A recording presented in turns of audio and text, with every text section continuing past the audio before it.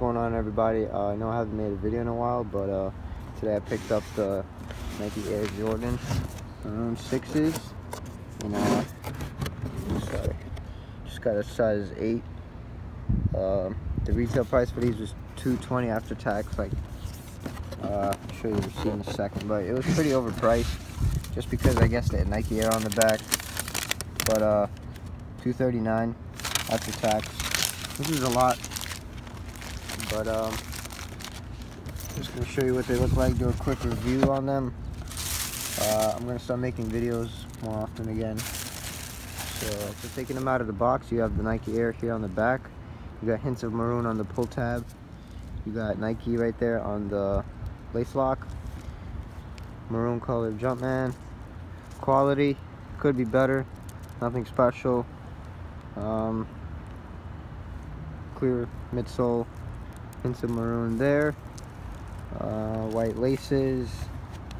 They're really tight right now because they're still factory laced.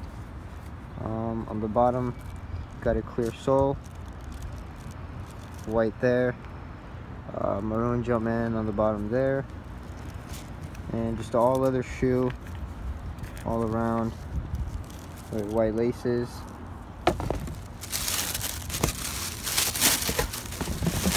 Picking out the other pairs, pretty much the same thing.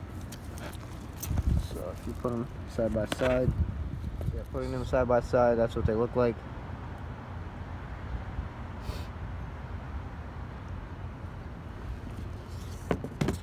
A lot of people are going to be hyping these up just because they got that Nike Air on the back, but I really wanted these for a while.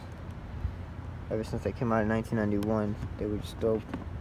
I just wish the quality was like them back in the old how they were.